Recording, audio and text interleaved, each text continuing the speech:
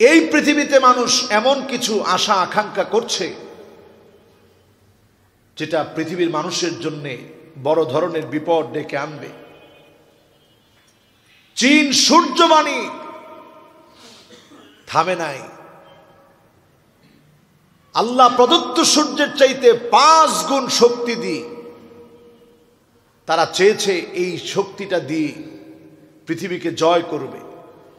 কিন্তু এই এক লক্ষ কোটি ডলারের প্রকল্পে তারা তাদের শক্তি দিয়ে নিউক্লিয়ার ফিউশন রিয়েক্টর তৈরি করে সতেরো মিনিট পর্যন্ত তারা চেষ্টা চালিয়েছে। সতেরো মিনিটের জন্য তারা এই পৃথিবীকে দেখিয়েছে। তারা যে কাজ করেছে পনেরো কোটি আশি লাখ ডিগ্রি ফারেনহাই তাপমাত্রা সৃষ্টি করে মানুষকে দেখিয়েছে। এটা করেই তারা থামে নাই। নতুন করে চীন এখন এখন একটা চাঁদও তৈরি করছে। চিন্তা করেন, এমন একটা চাঁদ তারা বানিয়েছে, যেই চাঁদের ভিতরে আল্লাহ প্রদত্ত যে চাঁদ, সেই চাঁদের দুলিবালি, পাথর কণা, এই চাঁদের মধ্যে দিয়ে রাখবে। লর্ড গ্যাপিটেশন মধ্যাকর্ষণ শক্তি ছাড়া ভরশূন্য অবস্থায় মানুষ কীভাবে ভাসতে পারে? এই প্রকল্প তারা হাতে নিয়েছে চীন। চীন যখন এই প্রকল্প হাতে নিল, সৌদি আরব এখন আর বসে থাকবে না। সৌদি আরবে একটা সিটি হাতে নিয়েছে দু হাজার পঁচিশের মধ্যে। এই মেগা সিটির উদ্বোধন হবে, যেটা লন্ডনের চাইতে সতেরো গুণ বড় হবে। নিউ ইয়র্ক সিটি থেকে তেত্রিশ গুণ বড় হবে। এই সিটিটার মধ্যে তারাও একটা চাঁদ স্থাপন করবে। এই সিটিটার মধ্যে তারা চাঁদ শুধু বানাবে না, কৃত্রিম বৃষ্টি সেখানে দিবে। চাঁদ থাকবে, কৃত্রিম বৃষ্টি থাকবে, উড়ন্ত ট্যাক্সি থাকবে, রবট দিয়ে কাজ হবে। উৎকর্ষ সাধনে মানুষ যখন ব্যস্ত হয়ে পড়বে, আল্লাহ হাত্তা সুরতুমুল মাকাবির উৎকর্ষ সাধনে মানুষ আজকে ব্যস্ত হয়ে পড়বে। শিবরণ বিশিবরিন চীন যা করছে, চীনে দেখা দেখি এক লক্ষ কোটি মার্কিন ডলারের প্রকল্প চীন হাতে নিয়েছে। পাঁচশো মিলিয়ন মার্কিন ডলারের প্রকল্প সৌদি আরব হাতে নিয়েছে।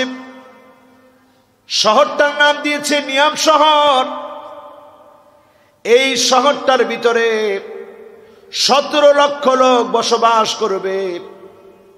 পৃথিবীর অবস্থাটা যখন এমন হওয়া শুরু হয়েছে, আপনি লিখে রাখেন ওয়াইলুল্লিল আরব ওয়াইলুল্লিল আরব ওয়াইলুল্লিল আরব। আরবের ধ্বংস আসতেছে। আরবের ধ্বংস আসতেছে। আধিক্য আমাদেরকে পেয়ে বসবে।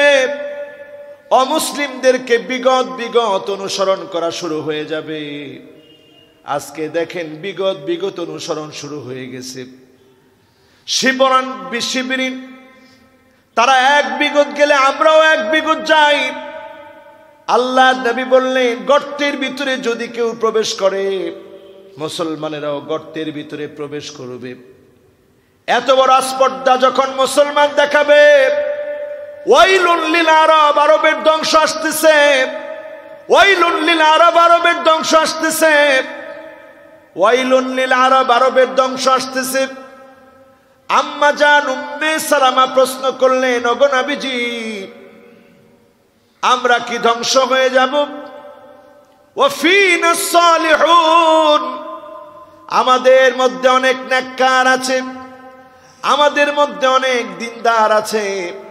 তারপরেও কি আমরা ধ্বংস হয়ে যাব? আল্লাহ নবী বললেন হ্যাঁ তোমরা ধ্বংস হয়ে যাবা। ইদা কাসুরাল খাবাস খারাপ কাজ যখন তোমাদের মধ্যে বেড়ে যাবে, তোমাদের ধ্বংস অনিবার্য হয়ে যাবে।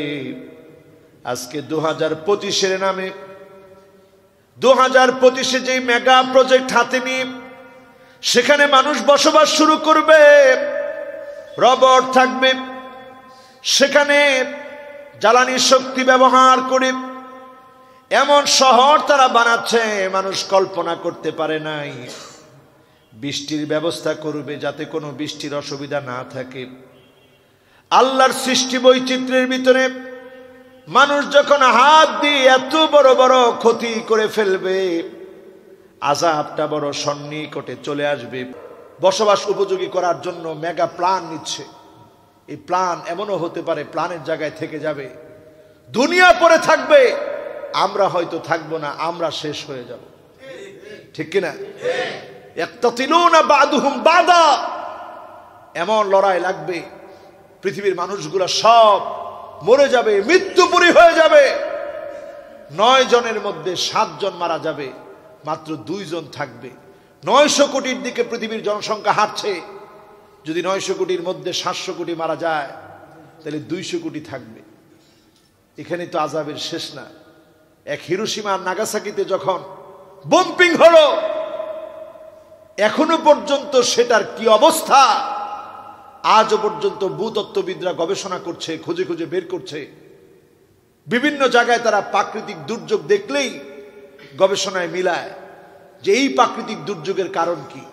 আর এখন চিন্তা করেন, একদিকে আমাদের গুণা, অন্যদিকে আমাদের উদ্যত্তপূর্ণ আচরণ।